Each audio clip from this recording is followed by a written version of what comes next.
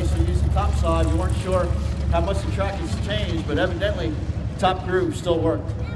Yeah, I was watching racetrack all night. The heat race, I mean, these guys are doing a great job with the racetrack. Even though I, I hope the fans aren't uh, getting a little aggravated for them coming out and watering the racetrack and working on it, but it makes for great racing. And uh, Keith and Bob do a hell of a job each week and uh, try to keep the rubber down. So just got to thank them guys for keeping the racetrack raceable and making it easy, making it look easy for me.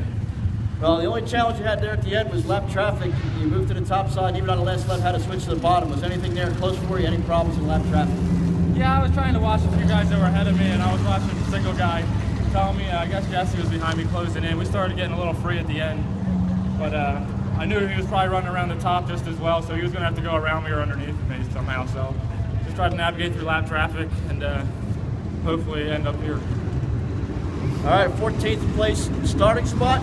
Lap traffic to deal with, nothing.